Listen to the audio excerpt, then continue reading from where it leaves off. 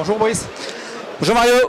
Alors l'année 2021 arrive à sa fin. Quel est le bilan de l'année 2021 chez MNG pour MNG, c'est une année euh, intéressante dans le sens où on a beaucoup investi pour devenir un acteur de référence euh, sur les investissements euh, durables.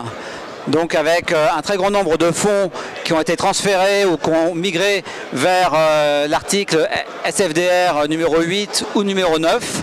Donc ça, c'est un gros travail qui a été fait au niveau des équipes de gestion et au niveau du positionnement de la gamme pour vraiment être dans les clous pour tous ceux qui veulent donner du sens à leurs investissements dans une logique euh, durable. Donc ça, c'est le premier volet. Et le deuxième volet euh, sur le marché euh, des CGP en France, c'était de continuer à être une référence sur le marché obligataire, tout en développant, tout en développant notre savoir-faire en matière de gestion thématique, notamment dans le monde des infrastructures. Très bien, merci. Alors, tournons-nous maintenant vers 2022. Y a-t-il un ou plusieurs fonds que vous souhaitez mettre en avant? En 2022, on va essayer de continuer à être une référence, en tout cas un repère pour les CGP en matière d'offres sur les actions internationales. Nous avons, depuis notre existence, depuis 15 ans sur le marché français, on a toujours voulu se positionner comme étant une référence sur des fonds cœur de portefeuille. Et aujourd'hui, le cœur du portefeuille, il se fait avec un maximum de flexibilité au niveau des actions internationales.